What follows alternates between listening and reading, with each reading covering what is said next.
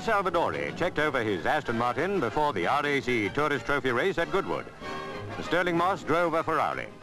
Among the talent, also for Aston Martin, was Innes Ireland. Their keen fan, the Duke of Kent, was there with the young Duchess. There was a Le Mans type start for the 29 drivers. The race was for three hours round a track of 2.4 miles.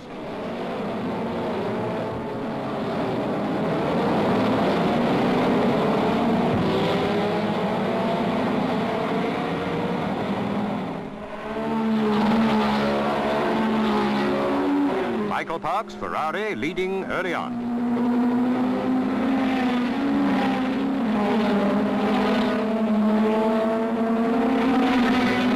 In lap 8, Stirling Moss, number 7, took the lead from Parkes and before long was lapping a few competitors.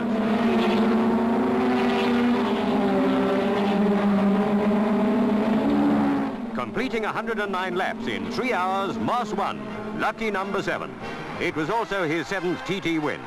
They knew he was coming, so they baked a cake. Opposing Moss in this race, you have as much chance as a DA against Perry Mason.